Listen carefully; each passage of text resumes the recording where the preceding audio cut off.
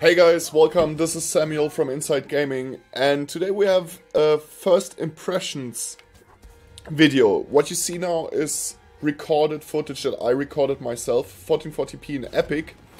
I installed the game on uh, external hard drive, which was a mistake, uh, because I could run it in 60 in Epic in 1440p, but the memory is bottlenecking the story, so it's capped to 30 here and you still see some dips from time to time, which are not caused by the CPU or GPU. So let's uh, first get the technical sides out of the way. I'm running a SLI setup, so two graphic cards, and I'm really happy to report that SLI scaling is working, and it's working fine. You see now 60-70%.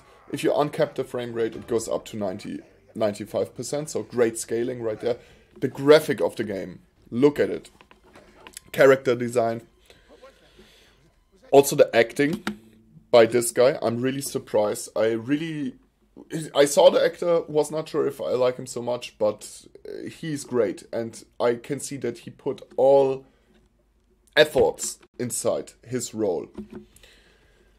What you see now, as I said, is epic um, from the graphic settings. So this is the best the game would look, um, apart from the frame rate. It's a really gripping story, really personal story.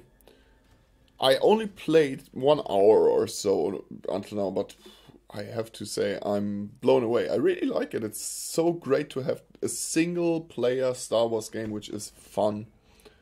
This scene is also pretty cool. Don't want to spoil it too much, but let's pause here for a second. It almost looks like a CGI movie, if you ask me the facial expressions of the alien, and the overall acting quality. If you compare this to games from let's say 10 years ago, you know, this is those are real characters that I can follow. So I can't wait to play more of Fallen Order. It's a great game. Get it and thanks for watching. Subscribe, hit that bell button. I will come out with more videos about Fallen Order for sure. Um, yeah, thanks for watching. See you in the next video. Bye.